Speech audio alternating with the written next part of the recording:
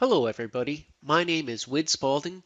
Yes, it's Wid, it rhymes with squid, and I'm with BMC Software, and I'd like to take a moment to show you how Atrium Discovery can assist in the world of service management, specifically in terms of change impact assessment as well as service restoration.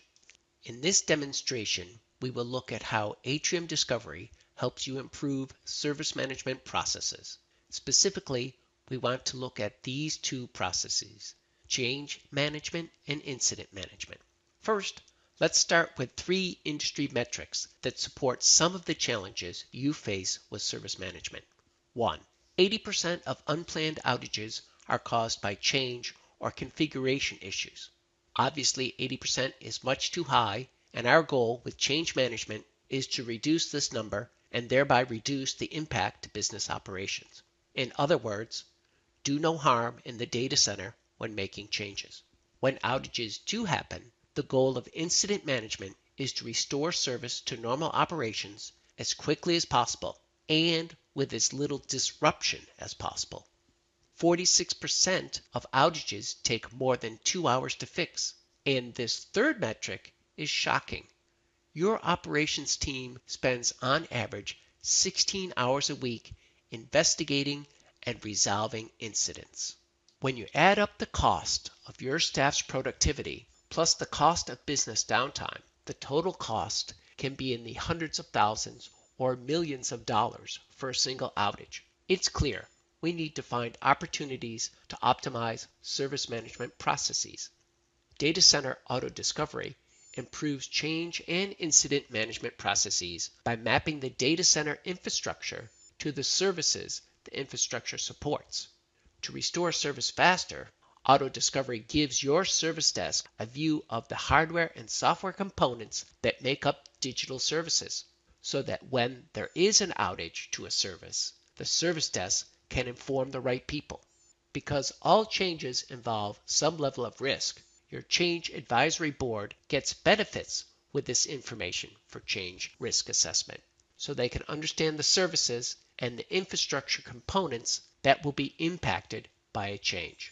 This demonstration will show the Atrium Discovery solution, but keep in mind that in service management processes, this data is shared with both Remedy and Remedy Force for the incident and change management processes. And we have many customers who use Atrium Discovery data with ITSM products from other vendors like ServiceNow, Computer Associates, HP, IBM, and others. Now let's look at the infrastructure information in a little bit more detail.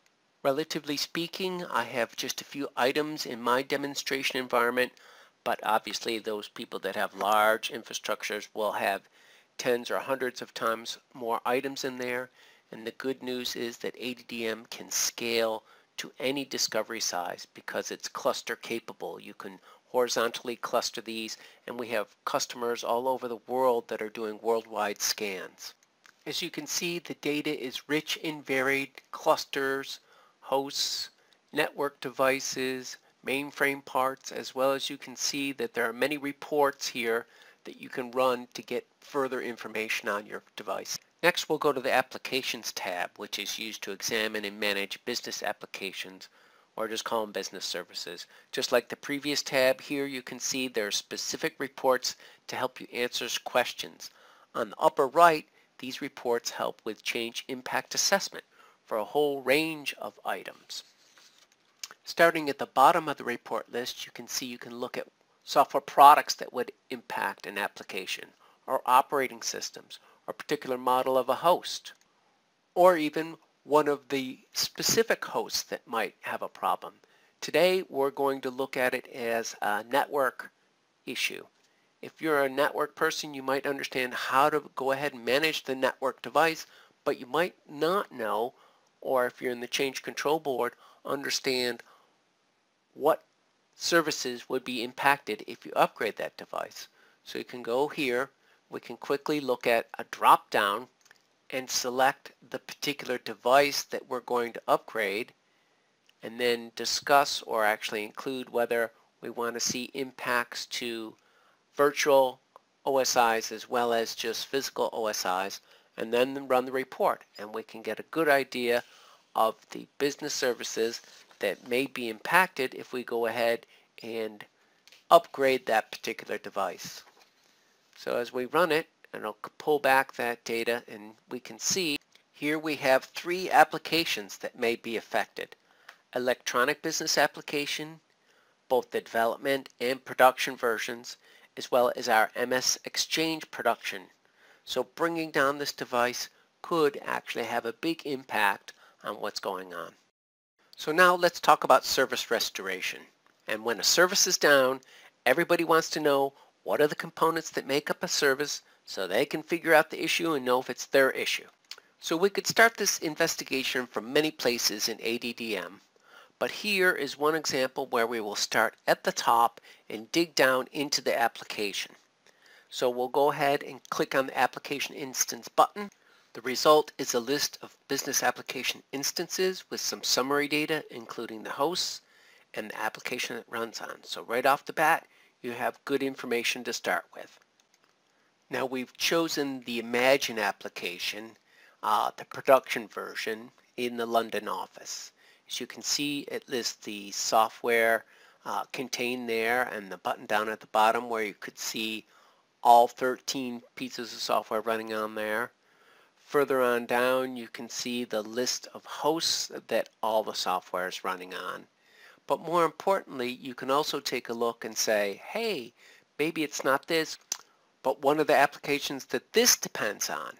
So it's really dependent on the risk engine. So we can click right away, go into the risk engine. We can see all the application, all the software instances. There's 21 of them that are part of the risk application. We can see the hosts that are there. So you have not just at your fingertips the original application that you know that's down, but anything that's related to it that it's dependent on.